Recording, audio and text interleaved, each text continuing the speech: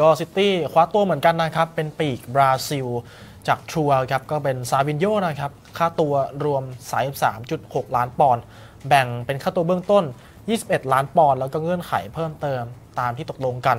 12.6 ล้านปอนด์นะครับ ปีกวัย 20 ปีนะครับ ก็ถูกทรัวส์เนี่ยปล่อยให้กับทางกิโรนา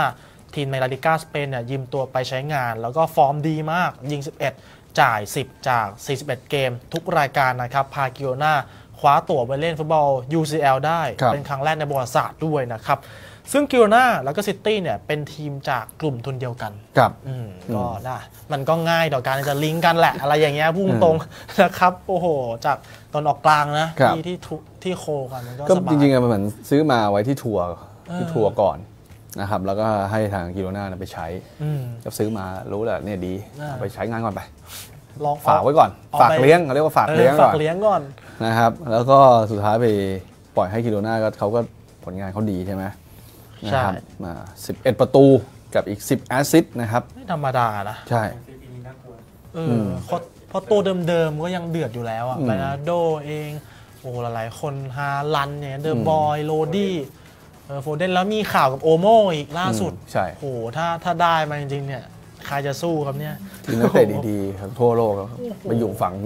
ในเครือของซิตี้หมดแล้วอะใช่ถูกไหมนี่เขาเป็นที่เป็นเครือข่ายของสโมสรของเจ้าของเขาอะวางแผนดีจัดนะนะครับผมว่าอะญี่ปุ่นยังมีเลยอ่ามารินอสไงอ่าใช่ไหมใช่ใช่ใช่อ่านะครับก็อยู่ที่ อยู่ที่เครือเขาหมดอะอืมอยากจะช้อปปิ้งอยากจะอืมเลือกใครบางทีซื้อมาไอ้ยตัวนี้เดี๋ยวราคาไม่ขึ้นไปเอาไปเล่นทีมนี้ก่อนไปทวีปก่อนที่จะส่งมาอืมแมนซิตี้นะใช่เป็นทีมใช่แม่หน่อยอะไรอย่างเงี้ยก็โหเขาวางแผนดี ใช่ครับนะครับ ก็มีหนึ่งข่าวแล้วกันเอ็นโกโล ก็องเต้นะครับกองกลางทีมชาติฝรั่งเศสก็มีรายงานมาจากทาง The Guardian นะครับว่าอาจจะ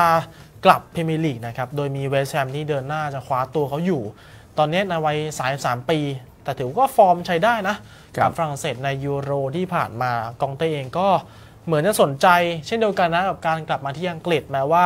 ก็ยังมีความสุขดีในลีกซาอุซาอุอยู่กับทางอาวิติฮัตนะครับ